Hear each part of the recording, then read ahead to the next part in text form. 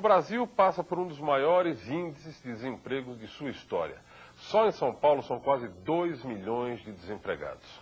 A CUT tem propostas concretas para gerar emprego e renda. Entre essas propostas está a criação de frentes de trabalho. Para discutir essa forma de gerar empregos, convidamos economista em política social, consultor da ONU e professor de pós-graduação em economia e administração da PUC, Ladislau Dalbor. Professor, vamos ver juntos uma reportagem que fizemos em Mauá, na Grande São Paulo. Ali, uma multidão de cerca de 20 mil pessoas atendeu ao chamado da prefeitura para ocupar 600 vagas de emprego.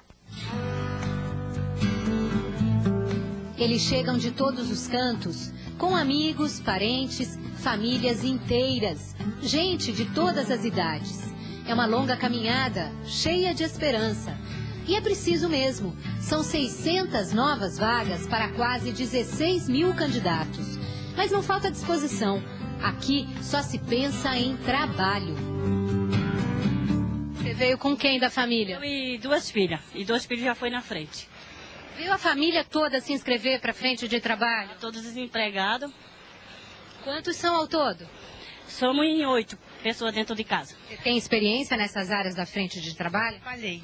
Trabalhei nove meses. Gostei. Então, espero repetir. O que, que você fazia? Bom, eu capinava, limpava a borda de, de represa e gostei.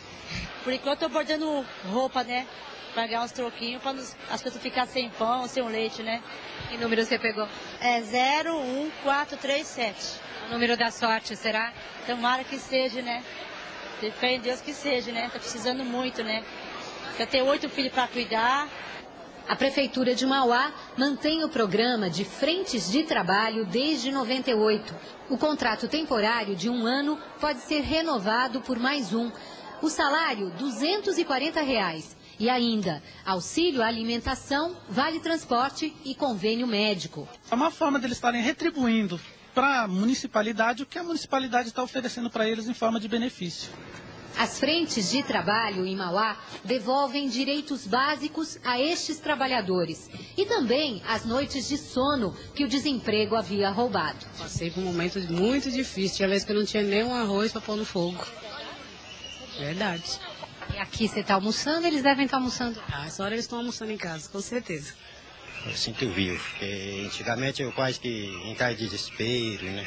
Agora não, agora eu chego em casa tranquilo, levanto de manhã tranquilo, sossegado.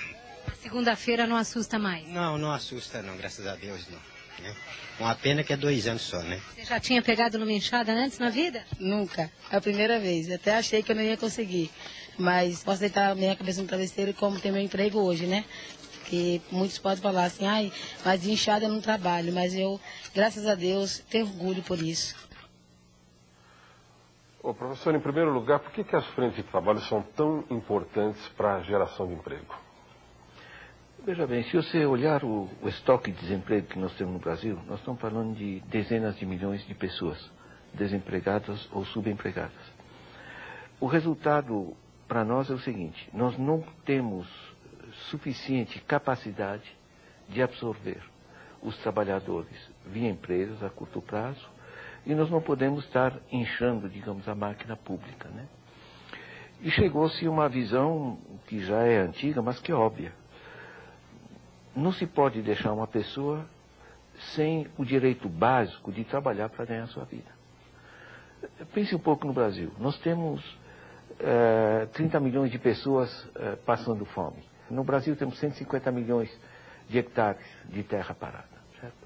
Então, é juntar os desempregados e a terra parada, fazer cinturões, cinturões verdes, como se faz em tantas partes do mundo. Você alimenta as pessoas, você dá emprego, certo? você dinamiza a economia porque você está é, é, jogando produto, e você não está substituindo o emprego formal, porque como você dinamiza a economia pela base, você gera novos empregos, mais atividades da área formal.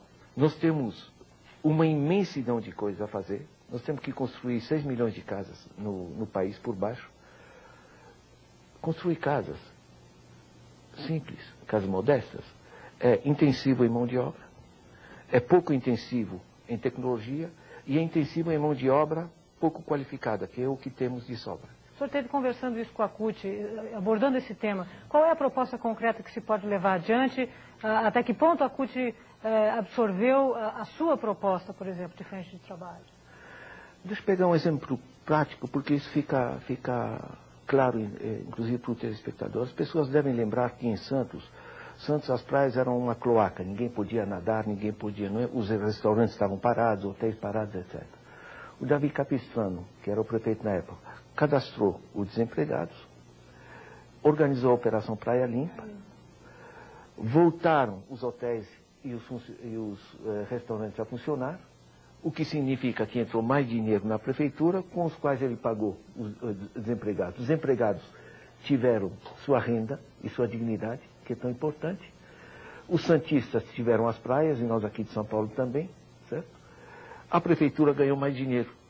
Ou seja, é uma articulação concreta. Agora pense que no Brasil nós temos Uh, gigantescos problemas de saneamento básico, porque nós nos urbanizamos de maneira extremamente rápida sem a correspondente infraestrutura. Fazer saneamento básico são trabalhos simples, intensivos em mão de obra, pouco intensivos em tecnologia e em divisas. Certo? Então, nós podemos dinamizar o saneamento básico. Se nós vimos no filme, o pessoal estava ali capinando, arrumando um, um, um, um córrego que estava ali. Né? Você pode fazer isso em grande escala. Há um projeto extremamente interessante, é, que de um setor da CUT também, de saneamento de municípios de até 20 mil eh, habitantes eh, que são próximos a praias. Isso mobilizaria cerca de 2 milhões e meio de pessoas e resgataria a capacidade turística de todo o litoral brasileiro.